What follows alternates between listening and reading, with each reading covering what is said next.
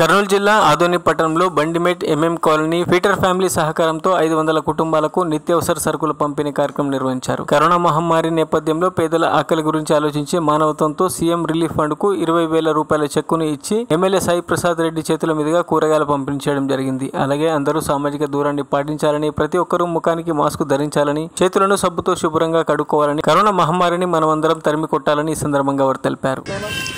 కొంచెం నిదానం చేయడమ్మా అందరికీ ఉన్నాయి. ఐదు వందల పోట్లాడడం మొదలుపెట్టినారు ఇంకా ఎందుకంటే ఈ లాక్డౌన్ నుంచి ఎవరు పనులకు పోయేకి లేదు బయటకు వచ్చేకి లేదు ఏమి చూసేకి లేదు ఒకరు కలిసేకి లేదు. అలాంటి పరిస్థితుల్లోన చాలా అరవై రోజులుగా అందరూ కూడా అనిపిస్తాం ఎందుకంటే ఇలాంటి పరిస్థితి రారాదు.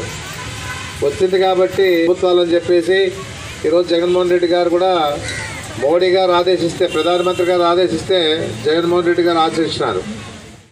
వారికేమీ ఆందోళన ఇంతవరకు ఎప్పుడు కూడా రాలే.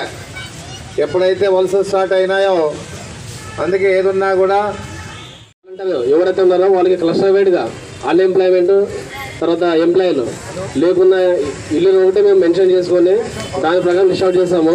ఇప్పుడు మరి అన్నగారి చేతుల మీదుగా కేవలం కొద్దిమంది మాత్రమే వాటిని పంపిణీ చేయడం జరుగుతుంది. దయచేసి మీరు ఇక్కడున్న వాళ్ళు మాకు రాలేదని ఎవరు ఇక్కడ వచ్చాము అదే ఇది రోగం తప్ప ఇంక వేరే ఏమీ లేదు దీంట్లో. దీనికి మందు లేదు మెడిసిన్ లేదు ఏమీ లేదు. మన సామాజిక అంటే మనము సోషల్ డిస్టెన్స్ దాన్ని మెయింటైన్ చేసుకుంటా. కొత్త వాళ్ళు ఎవరో వచ్చినా కానీ మీ వాలంటీర్లు ఉంటారు మీ ఏఎన్ఎంలు ఉంటారు వాళ్ళు ఇమ్మీడియట్గా రిపోర్ట్ ఇస్తే కమిషనర్ సార్ ఇమ్మీడియట్గా వాళ్ళని వాలంటీర్ తీసుకోవడము ఏదో చర్య తీసుకోవడం జరుగుతుంది కాబట్టి ఆదరణలో కూడా ఇన్ని రోజులు దాదాపుగా అరవై రోజులు ఎమ్మెల్యే గారు కూడా ప్రతి ఒక్క వార్డులో ఉన్న ప్రతి ఒక్కరిని కలుస్తూ ధైర్యం చెప్తూ ఈ కరోనా అనేది పెద్ద విషయం కాదు మనం సాధించుకుంటామని చెప్పి ధైర్యం అలాగే ఇంతకుముందు కూడా ఎంఎం కాలనీ బండమెట్ వాసులకు చిన్న యూ చిన్న యూత్ వాళ్ళు పది పన్నెండు వందల మందికి ఇంటింటికి ఇవ్వడం జరిగింది. కానీ అప్పుడు ఎమ్మెల్యే గారి ఆధ్వర్యంలో చెప్పడం జరిగింది.